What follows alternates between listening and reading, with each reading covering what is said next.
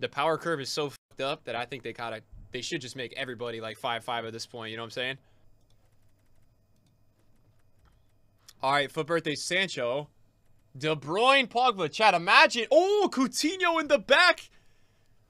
Everything changed because of that. That is an unreal pull. Coutinho, a cheeky Coutinho in the back, boys. I would love to get that card. I love Coutinho. Imagine getting that pack, though, like a couple of months ago. This specific pack. Coutinho, there was a lot of juicy stuff in there, man. I don't think Coutinho's outdated. I think you could use him. So I feel like he's got a pull there, and that, that's very usable.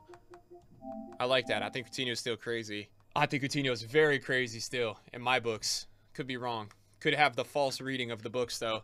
The new chance rewards are low-key good. Yeah, that's super fucking low-key.